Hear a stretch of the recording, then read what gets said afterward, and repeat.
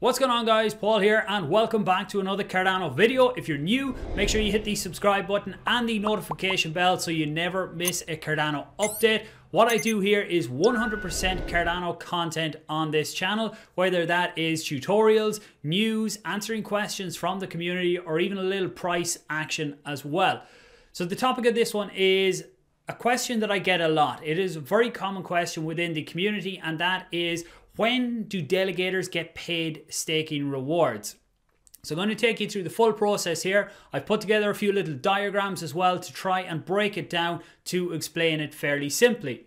There is an initial wait period of 16 to 20 days. Now, you, this will be clearer when I show you the next slide, but it's not like your stake is doing nothing in that time period. It gets registered on the network. It is earning before that, but it's 16 to 20 days before you actually get your first payout. So after that initial period, it is every five days then once your block eh, or once your pool is producing blocks.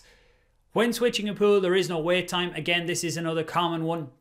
Once you switch over, you will still be earning from your previous pool while you go through that initial wait in the new pool.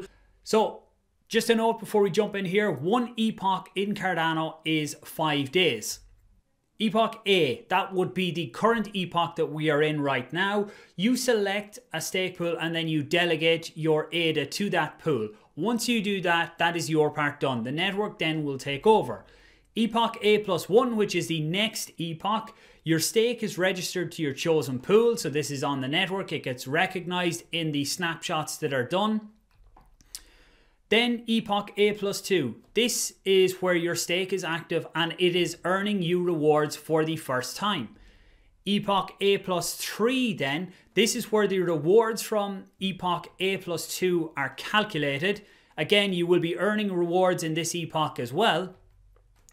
And then Epoch A plus 4, the rewards from Epoch A plus 2 are paid out. So this was the First time you were earning was A plus 2 and you get paid out in A plus 4. In A plus 4 as well, the earnings from A plus 3 are calculated and then they get paid out in A plus 5 and so on and so on. It's every five days after that.